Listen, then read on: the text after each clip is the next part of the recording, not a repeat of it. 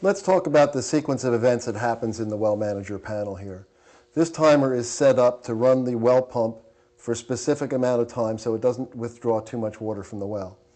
And the way this functions is the timer says, okay, let's start the well pump, and it does that. It gives the system five seconds to determine if water is coming from the well. If water is coming from the well, it allows the well pump to run for the rest of the, of the time set into this timer.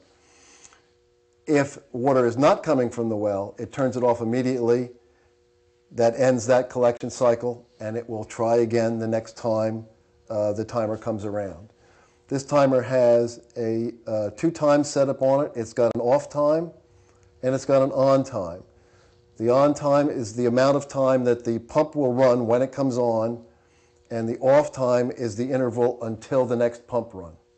So if this was going to run for one minute an hour, you would have one minute of on time, 59 minutes of off time.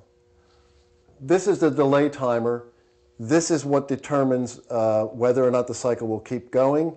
If the system senses flow from the well in the amount of time set on this timer, then it will allow the pump to keep going. If not, it turns it off immediately. These lights on the well manager panel face tell you what's going on at any, uh, at any time.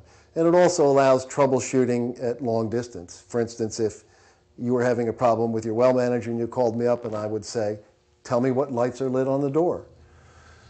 This light is always on when you have power from the breaker box to this control panel for the well pump.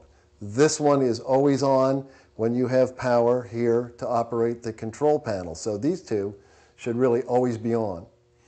When a time cycle is been initiated by the timer, that light will come on. If flow from the well starts, this light will come on. So in a situation where the timer is running the well pump and everything is working fine, this one, this one, this one, and the flow from the well light would all be lit.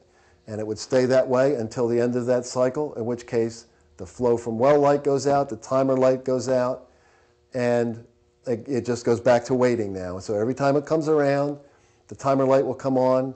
Immediately after that, the flow from well light will come on. Eventually, when the tank fills up, the tank full light will come on, and when you're using water in the house and you bring the pressure pump inside the well manager on, this light will come on.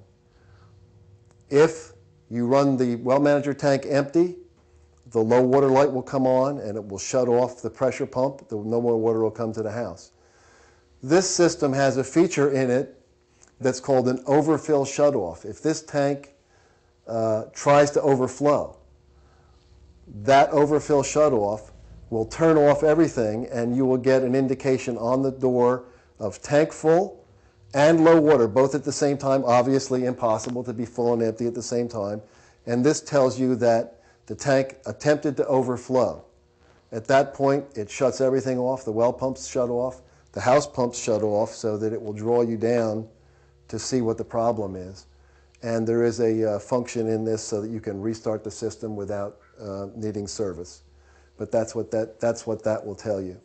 So this has a lot of features, but basically the lights on the door would tell an experienced person, even over the phone, what the condition of the system is. So you could stand in front of this, tell somebody what's going on, and they could figure out what's wrong with it um, without even being there.